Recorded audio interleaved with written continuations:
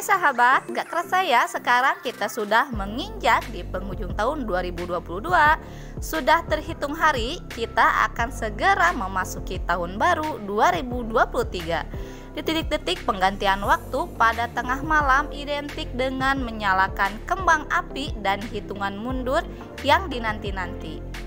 Nah, di video kali ini Aku akan share ke kalian cara membuat waktu tunggu pergantian tahun menggunakan aplikasi Canva. Waktu tunggu ini bisa kalian gunakan juga pada saat acara opening atau event-event ya. Seperti ini contohnya ya sahabat. Nah, tanpa basa-basi lagi, mari kita mulai ke tutorialnya.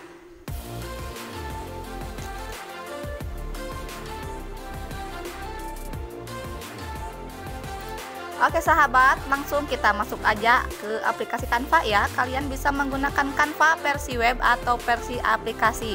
Nah, di sini aku menggunakan versi web dan kita masuk langsung ke menu yang kita tandai di sini ya.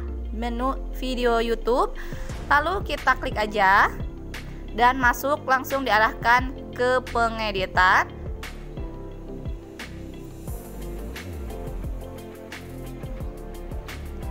Ini adalah template-nya banyak ya sahabat. Kalian bisa menggunakan countdown yang ada di template Canva yang sudah disediakan. Tapi di sini aku akan membuatnya. Jadi kita langsung aja masuk ke latar belakang. Di sini aku akan mencari latar belakang yang gelap seperti malam hari ya sahabat. Oke, aku pakai yang ini aja. Setelah itu masuk ke simbol plus yang ada di pojok kiri bawah maaf masuk ke menu elemen. Aku tuliskan di kolom pencarian itu kembang api ya sahabat. Masuk ke pencarian grafis grafis dan ini dia. Aku pilih yang ini untuk animasinya ya. Lalu aku akan menambahkan teks yaitu waktu hitungan jam 23 malam yang akan segera berganti ke jam kosong kosong ceritanya seperti itu ya.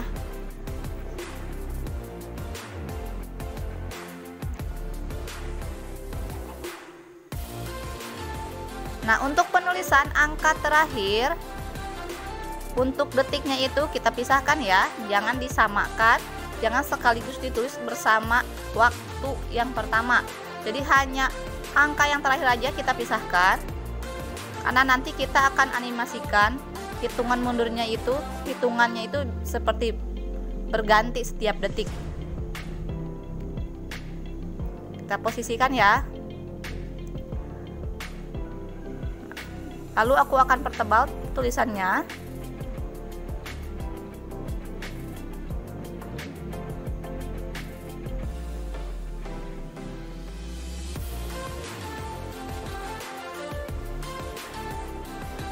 lalu aku gabungkan.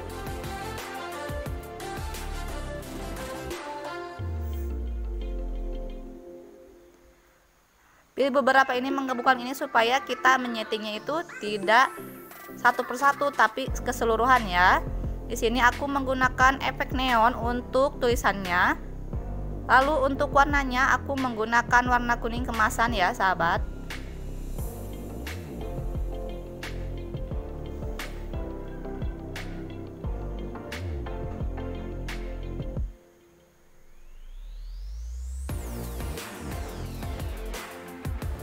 dan waktunya itu aku perkecil menjadi satu detik aja ya 1,5 detik ya sahabat. Waktu per halamannya ini ya jadi nanti rubah-rubah sin angka 5 nya itu merubah menjadi angka 6 itu hanya dalam waktu 1,5 detik. Nah kita ganti lagi kita duplikat lalu kita ganti lagi angka 5 nya ini menjadi angka 6 tekan lagi tabnya yang di bawah lalu kita duplikat lagi ya Nah, kita animasikan dulu. Aku memasukkan animasinya itu bergulung jadi seperti pergantian waktu ya. Nah, kita duplikat lagi. Angka 6-nya menjadi angka 7. Terus lakukan seperti itu sampai waktu habis 59 dan jam berubah menjadi jam 00.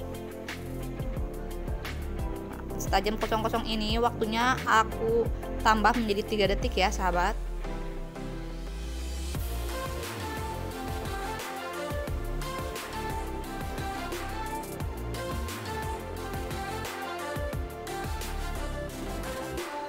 Aku tambah animasi juga ya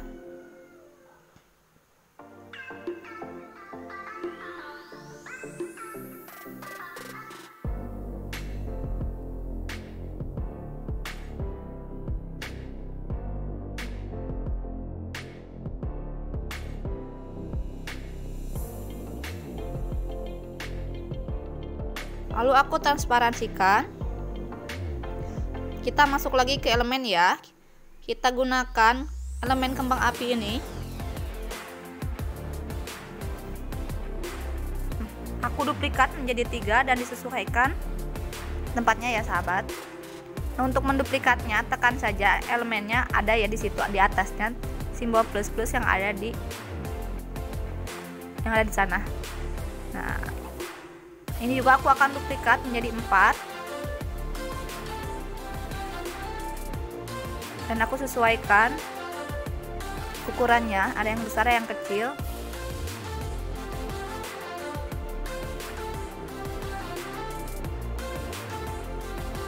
Ini tergantung selera kalian ya. Kalian bisa pakai yang mana aja tapi ini seleranya aku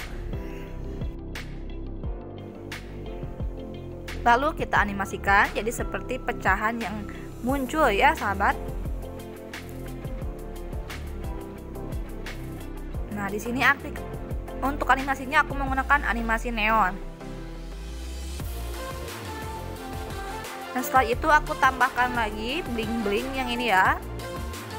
Seperti percikan-percikan api jadi supaya lebih rame lagi ini aksennya kita terus duplikat aja. Taruh disebar di mana-mana. Jadi seperti percikan-percikan api yang muncul. Masuk lagi ke elemen. Aku tambahkan lagi elemen yang ya seperti itu percikan-percikan cahaya lagi. Tapi yang agak kasar ya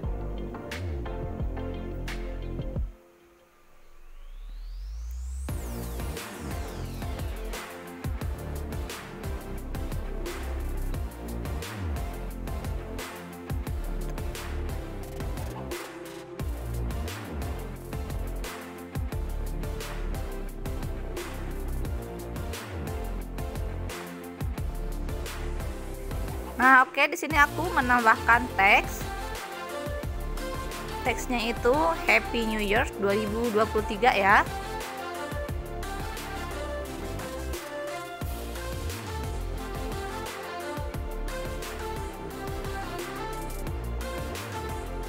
Lalu di sini aku akan merubah fontnya, gaya tulisannya.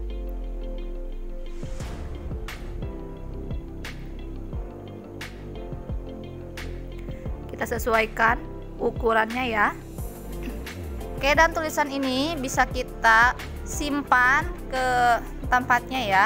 Maksudnya kita sesuaikan tempatnya. Nah kita rubah tulisannya ke neon lalu kita animasikan untuk kemunculannya. Nah ini ya sahabat. Untuk menyimpannya kalian bisa tekan simbol panah yang ada di pojok kanan atas lalu klik unduh dan file yang disarankan itu mp4 langsung aja kita unduh. Nah setelah itu kita tunggu proses selanjutnya ya sahabat.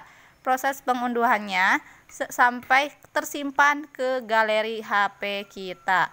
Dan ini dia hasil kerja kita kali ini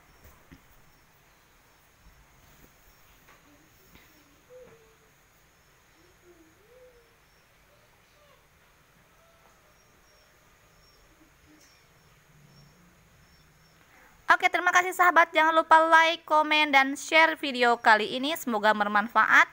Thanks for watching. Selamat beraktivitas dan see you next video. Dadah. Terima kasih. Assalamualaikum.